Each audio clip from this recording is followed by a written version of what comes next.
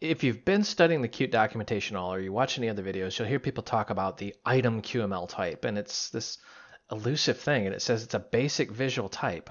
And you dive into the documentation, and it gets very confusing very quick because it says the item type is a basic type for all visual items. However, the item object has no visual appearance.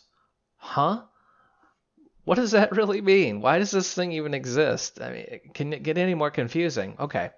So to break this down, if you think of this in terms of Qt, let's think about the Qt libraries, the Qt core, for example.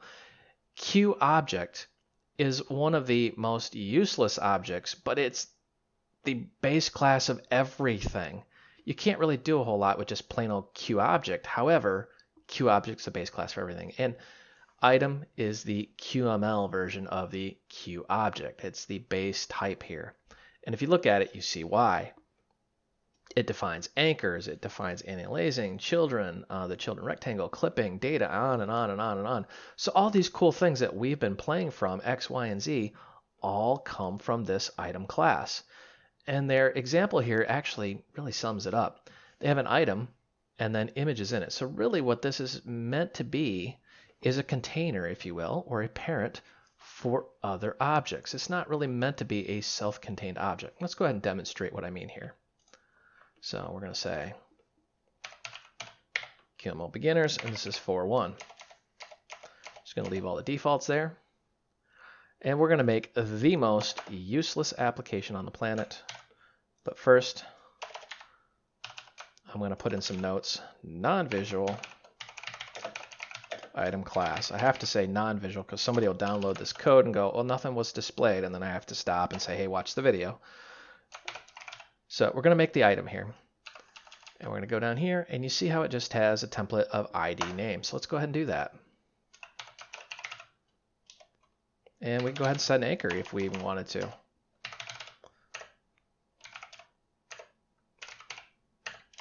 And let's actually give it a width and a height.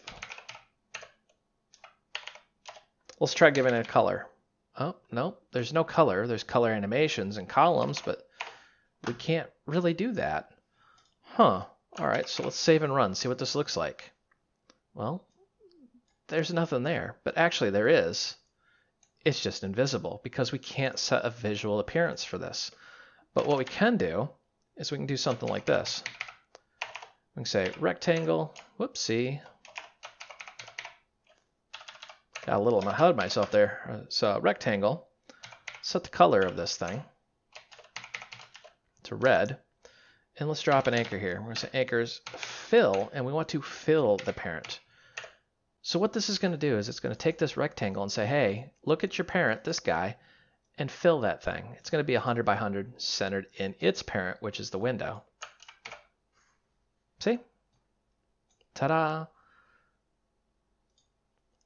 The power of the item component doesn't really come into play until you get a little bit more advanced in QML. And that's why it's one of the most misunderstood terms because they push this on you early because it is the base for all visual types, but it itself is non-visual and it makes no sense why this thing even exists. It exists solely so that you can make your own components and you can say, I want to define my own custom object. What's up everybody? This is Brian. I hope you enjoyed this video. It's part of a larger series out on udemy.com called QML for Beginners.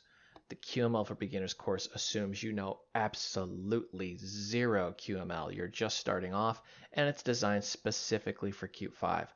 I will re-record the entire series when Qt 6 comes out and just know that it's over 100 videos and 13 and a half hours of video on demand. I'll put a link below so you can get a highly discounted rate. And before you dive in, just understand it covers a lot more than what I can put into this list. Everything from what's QML to animations to C++, integration, JavaScript, and on and on and on. But one of the requirements up front is you have to know Qt Core. You should have some C++ under your belt and be very familiar with Qt 5. In case you have none of that, I do have some courses for Qt Core beginners, intermediate, and advanced out on Udemy as well. Hope to see you there.